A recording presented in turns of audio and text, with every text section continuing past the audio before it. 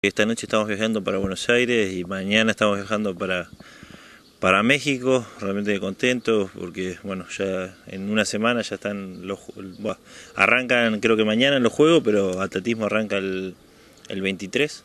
¿Y vos cuándo competís? Yo estaría compitiendo el 25.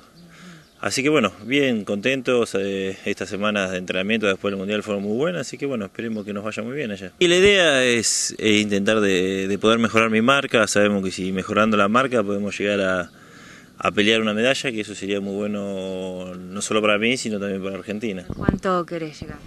Y la idea sería poder llegar a los 20-50, pero bueno, vamos a ver qué, qué, cómo se da. Realmente tenemos una prueba muy difícil, va, va a haber mucho nivel, Así que bueno, eso también lo va a ser muy interesante.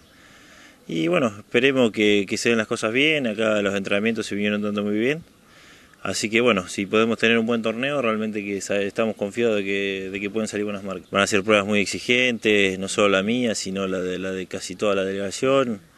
Eh, vamos, por suerte con una delegación muy grande en atletismo, así que bueno, esperemos que todo el equipo pueda traer muchas medallas. ¿Quiénes son tus principales competidores?